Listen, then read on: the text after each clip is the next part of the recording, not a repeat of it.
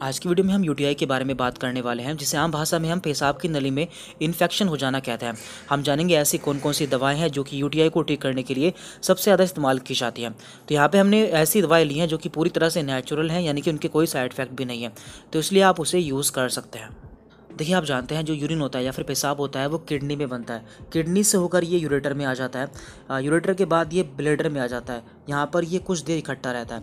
इसके बाद ये यूरेथ्रा से बाहर निकल जाता है, यानी कि हमारे शरीर से बाहर निकल जाता है।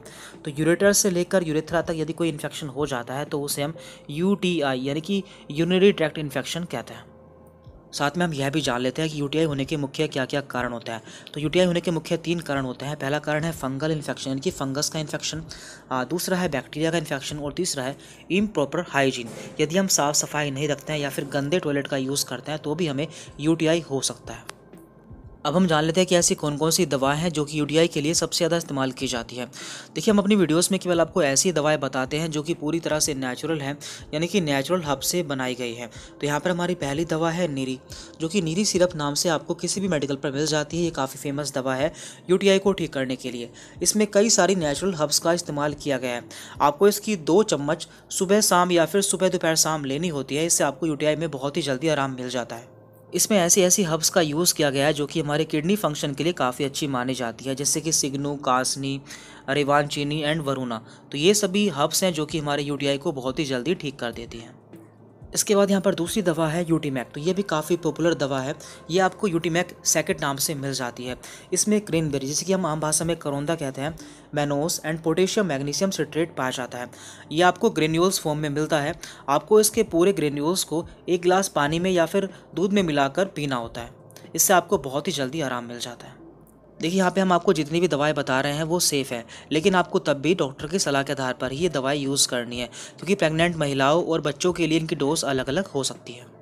इसके बाद यहाँ पर तीसरी दवा है चंद प्रभावटी तो ये आपको टैबलेट फॉर्म में मिल जाती है और ये कई सारी कंपनी द्वारा बनाई जाती है, जैसे कि बैद्यनाथ, डावर, पतंजलि। तो आप किसी भी कंपनी की परचेज कर सकते हैं, ये स्पेशली यूटीआई के लिए ही बनाई जाती है।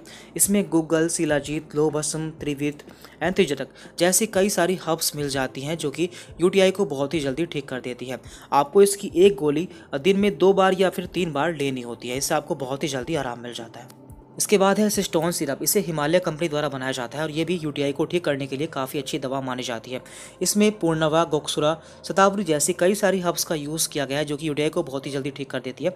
आपको इसकी एक चम्मच दिन में एक बार या फिर दो बार खाना खाने के बाद में लेनी होती है। इससे आपको बहुत ही जल्दी आराम मिल जाता है। और यहाँ पर हमारी आखिरी दवा है S B L drop number three. तो ये भी काफ़ी पॉपुलर दवा है। ये एक होम्योपैथिक मेडिसिन है जिसे एस बी एल कंपनी द्वारा बनाया जाता है। इसमें कई सारी मेडिसिन का यूज़ किया गया है, जैसे कि berberis, vulgaris sarsaparilla ocimum, pareira सैनेसिका and cantharis. तो ये सभी होम्योपैथी की पॉपुलर मेडिसिन है जो कि यूटीआई को बहुत ही जल्दी ठीक कर देती है। आपको इसकी 15 से 20 बूंदें दिन में तीन से चार बार एक चौथाई कप पानी में मिलाकर लेनी होती है। इससे भी आपको बहुत ही जल्दी आराम मिल जाता है। तो यदि आपको यूटीआई है तो आप इनमें से कोई एक दवा डॉक्टर की सलाह के आधार पर इस्तेमाल कर सकते हैं। ये दवा यूटीआई के लिए काफ़ी अच्छी मानी जाती है। तो आज की वीडियो में इतना ही था।